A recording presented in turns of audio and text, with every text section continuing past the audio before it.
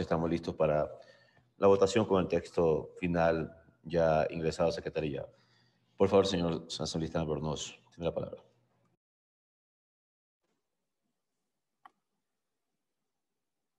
Eh, señor eh, presidente, eh, si me escucha. Le escuchamos, por favor.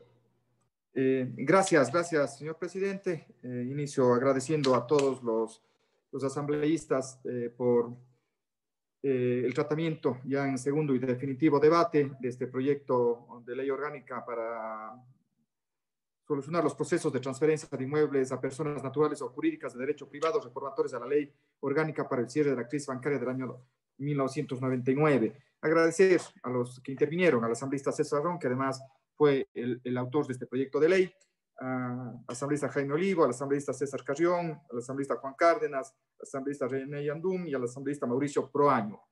Eh, miren, eh, como yo les comenté en mi intervención original, eh, este proyecto de ley fue construido con las instituciones que tienen a cargo estos procesos.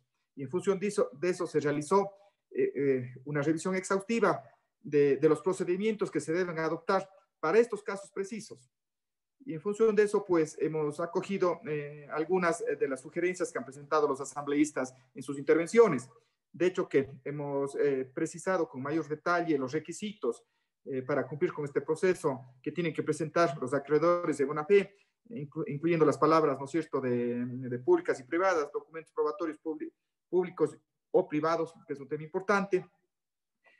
Asimismo, creemos importante que la Asamblea Nacional tiene que hacer un seguimiento a este proceso de transferencia de los bienes inmuebles. Eh, se ha incluido que, tiene que eh, las instituciones involucradas tienen que informar trimestralmente a la Asamblea Nacional eh, sobre los procesos de transferencia de estos bienes inmuebles que lamentablemente se quedaron en el limbo cuando hubo eh, lamentable eh, esta crisis, este engaño bancario, como quieran llamarle, pues se dio, habían cancelado todos, todos los valores de programas inmobiliarios y no pudieron eh, completar el trámite jurídico. Estos son los casos. Es por eso que no tenemos, digamos, la información ni, ni en la sociabilización del proceso de ley, no se pidió esa información eh, que más bien eh, tendría otro sentido y que puede ser muy interesante hacer un seguimiento sobre todos los bienes incautados que han sucedido con esos procesos. Pero claro, no era objeto de este proyecto eh, de ley.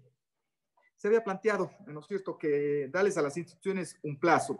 Esto hemos revisado con, con bastante detalle. Siempre es importante poner plazos, pero por la casuística que existe, por el nivel de avance que tienen estos, estos procesos en las diferentes instituciones y considerando que en algunos casos hay personas que inclusive están fuera del país, otras personas que, que eran, digamos, propietarias, pero que no eh, se completó el proceso jurídico y legal, pues eh, han fallecido y son los herederos.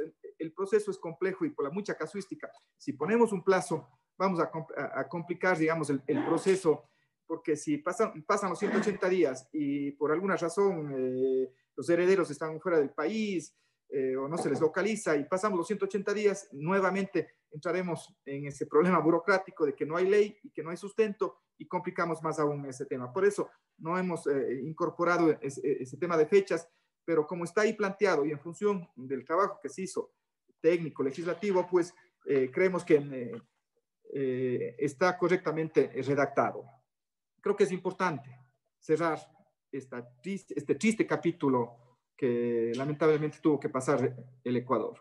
Yo coincido, esta crisis jamás se tuvo que dar, nunca tuvo que ocurrir esta crisis.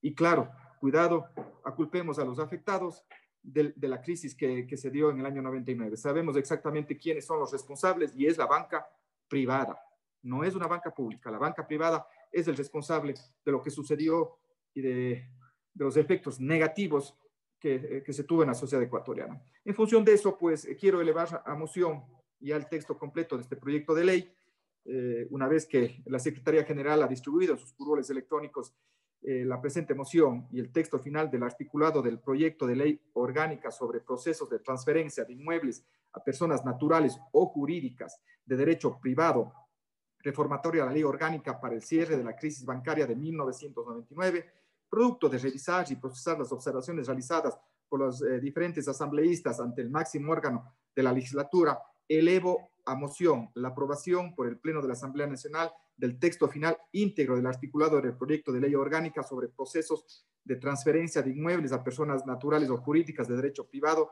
reformatoria a la ley orgánica para el cierre de la crisis bancaria de 1999, en virtud de los dispuestos en los artículos 61 y 135 de la ley orgánica de la función legislativa. Finalmente, se dispone a la Secretaría se efectúen los ajustes o cambios de forma que correspondan, así como de ser el caso, se realice la codificación y o eh, renumeración del texto final del proyecto de ley orgánica sobre procesos de transferencia de inmuebles a personas naturales o jurídicas de derecho privado, reformatoria a la ley orgánica para el cierre de la crisis bancaria de 1999, previo a su envío a la presidencia de la República, tal como dispone la Constitución de la eh, República y lo que dispone la ley. Hasta aquí eh, mi moción, señor presidente. Agradecerle a usted por la importancia que ha dado este proyecto, pues agradecerles a todos y esperemos que en forma unánime votemos por este proyecto de ley importante que hace justicia aquellos perjudicados que han tenido que pasar vicisitudes por más de 20 años. Buenas, buenas tardes.